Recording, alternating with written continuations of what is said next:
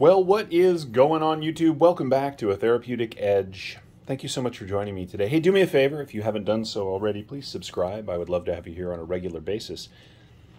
Also, don't forget to hit that like button down there. It uh, helps the channel in many ways, and it's an easy thing for you to do. All right, what's on the table? Well, this is the Rainier Knives Base Camp. Now, for those of you that have been part of the channel for a while, you'll know that I have the Rainier Knives Fast Pack, which is a smaller knife, and I use it as sort of a companion knife to my JX5. The JX5 does the chopping. The Rainier Knives Fast Pack does the slicing. But I've always wished it was just a little bit bigger, and here we are. Now, if you watch the unboxing, you'll know that I really enjoyed this thing when I got it in my hand, but I wanted to wait until I could put it to work before doing the review, which only makes sense. Now, unfortunately, I haven't been able to go camping. I know. I know. I'm as disappointed as you are, believe me.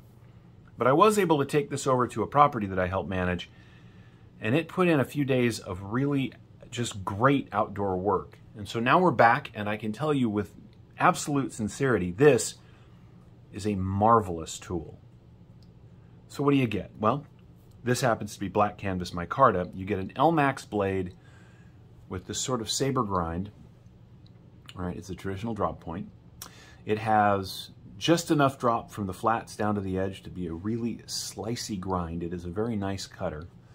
It is very comfortable even in my big old hands, right? More than enough handle, right? And if your hands were slightly smaller than mine, this would be well, probably even better. But for me, it is a really comfortable grab. And that matters with a fixed blade because you're doing a lot of repetitive, often a lot of repetitive work.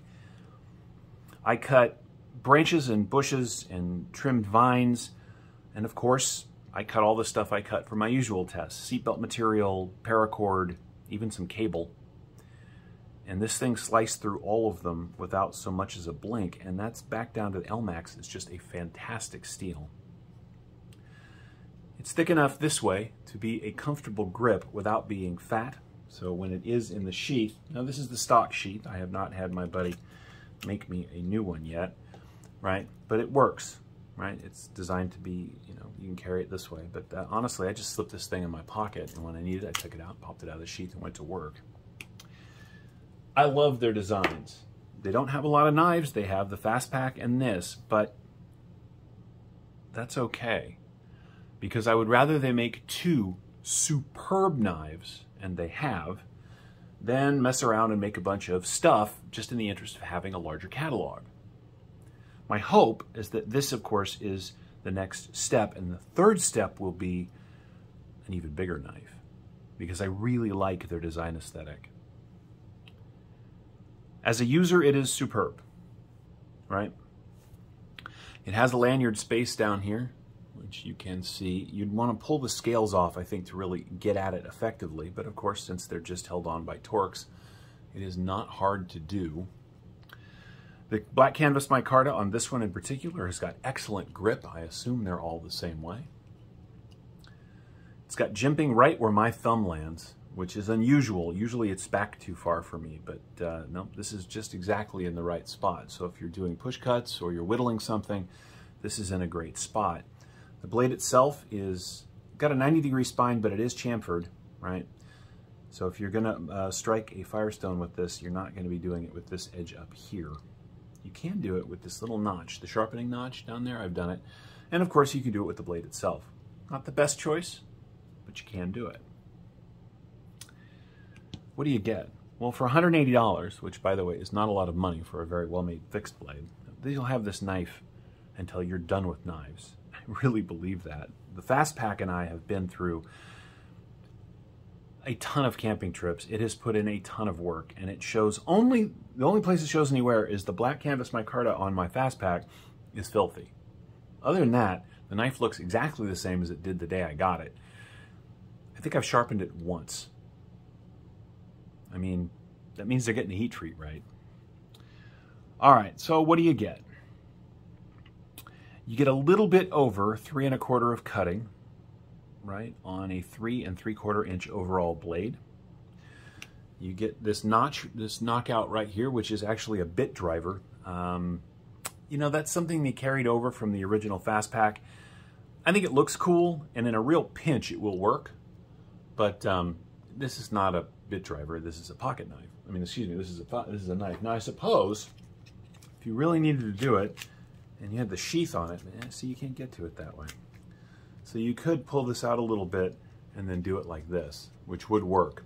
But um, I think it's mostly an aesthetic thing. The grip area from behind that, uh, right behind the uh, plunge right there, is three and three quarters inches. Down about here, it's a little over three and a half. So the overall knife comes in at seven and a half inches or just shy.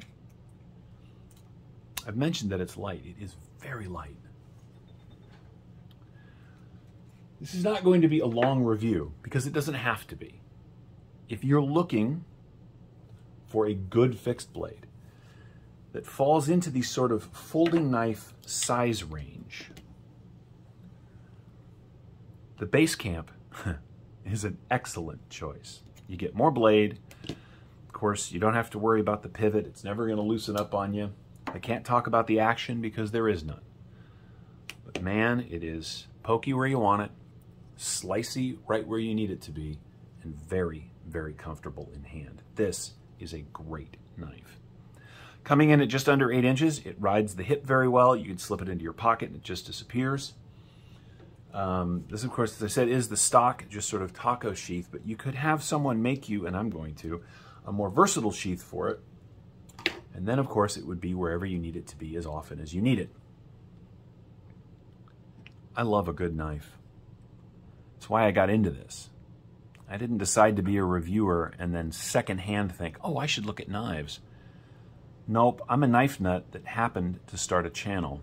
And so when something really nice comes along, it makes me very, very happy. Balance point on this knife is just a little bit behind the, uh, little bit behind the blade, so it seats into the hand very, very comfortably. Right? It's easy to manipulate. It's very fast. Right? It's quick if you need it to be quick. And because of the way it's designed, you can come forward on it if you're going to, like, like I said, do a little whittling, or if you're cutting a stick down into a steak. It has done all of those things really effectively. For $180, you can get a ton of folders, right? You can get some fixed blades. The thing about folding knives is that you always have to worry about little things like the pivot, you know, like them build, developing rust, stuff building up inside the scales, all sorts of things. A good fixed blade has none of those problems. Now, I'm a folding knife guy. I love folding knives. I just do, right? I love them. But you're never going to hear me say that they are a better tool than a fixed blade. The problem, of course, is that many of us can't carry a fixed blade everywhere we go. This one is small enough that it disappears pretty well. I'm not suggesting that you um, concealed carry knives. I am saying that you can be very discreet with it. And I think that was part of the design idea.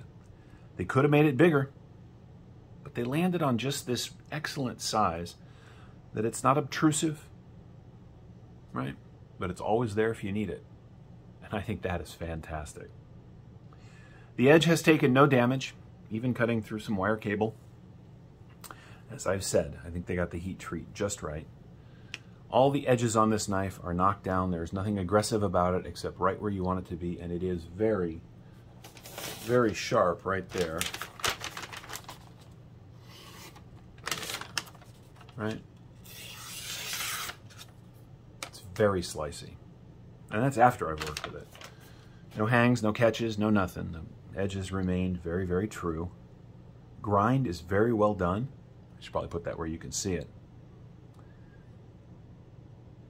It's just a great knife. I will put the link to their website in the description if you're interested in this or the smaller fast pack,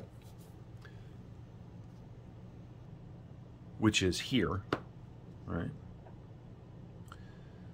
Yep, you can see the family line, but they are different knives.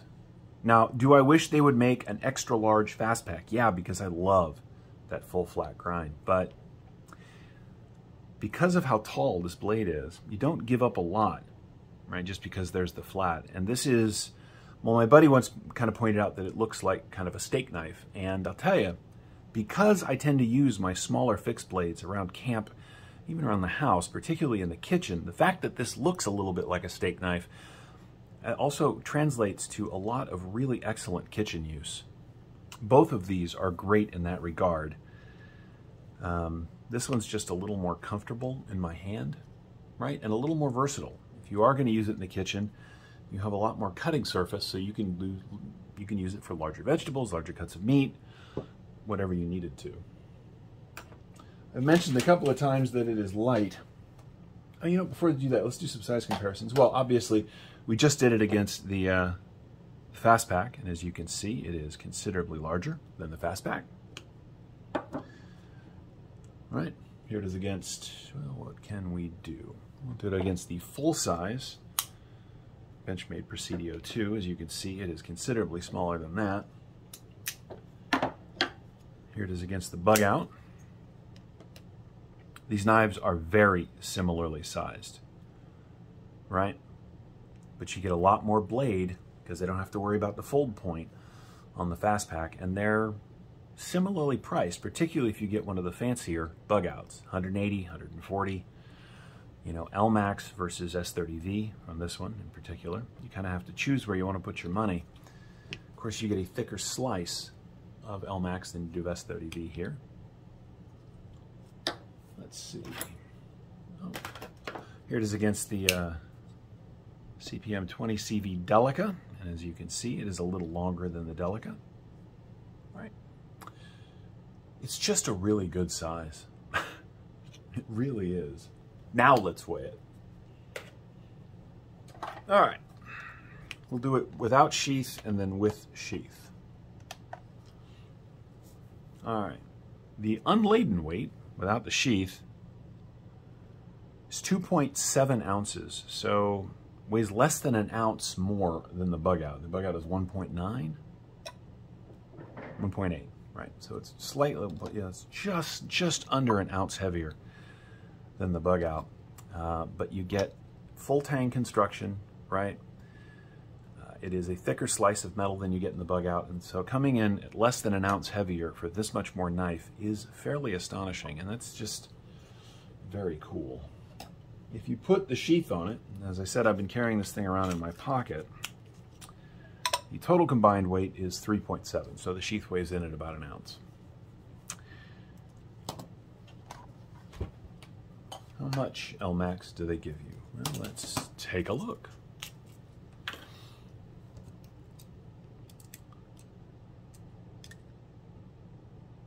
You get 3.17 millimeters, right?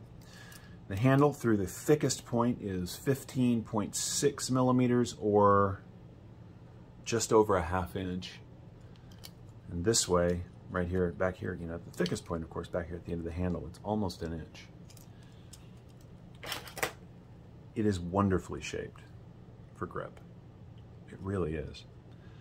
So there you have it. This is the Rainier Knives Base Camp. I have had opportunity to take it out and sort of beat it up. No, I didn't baton with it. but I did do everything I needed to do in the day with a knife, and it did all of that beautifully. If you're interested in an excellent fixed blade that won't break the bank, break the bank, that you will be able to have for a long time, the Rainier Knives Base Camp is probably the knife for you. And again, the link to their website will be down in the description. Thank you so much for watching. I hope you guys have enjoyed this. I know I have enjoyed having it. Uh, check in next time for more folding knives. We'll see you around.